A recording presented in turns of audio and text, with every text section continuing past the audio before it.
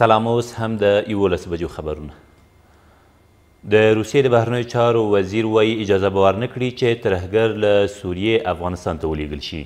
سېرګي لاوروف تېره ورځ په نیویارک کې په یوې خبري ناسته کې زیاته کړه، مسکو به اجازه ور نه کړي چې له ترکیې سره د شوې هوکړې او په ادلیب کې له پوځي عملیاتو د ډډه کولو له مخې په سوریه کې شته ترهګر افغانستان او یا هم کوم بل هېواد ته ولېږل شي. نوموړي همداراز په ډاګه کړه چې ترهګر باید یا له منځه یوړل شي او یا هم قضايي بهیر ورباندې پلی شي.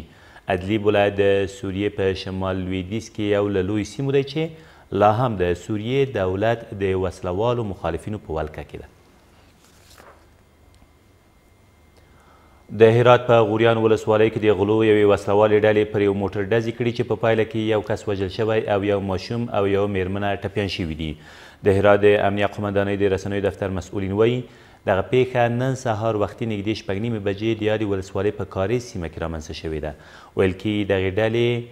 له دغې پېښې څو شېبې مخکې د غوریان هرات یو لایني بس موټر له تخلیه کولو وروسته هم غلا کړی دی.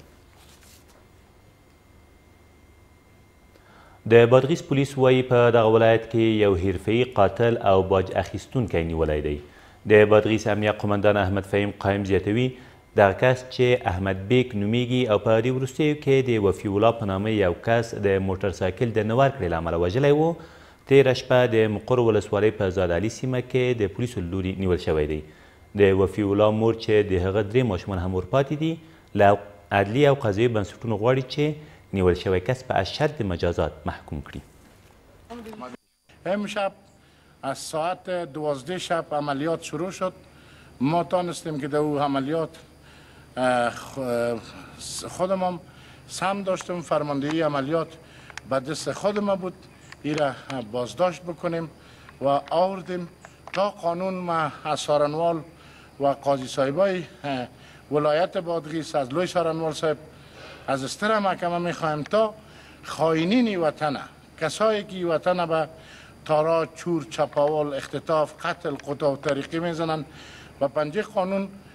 اینا را از پیششان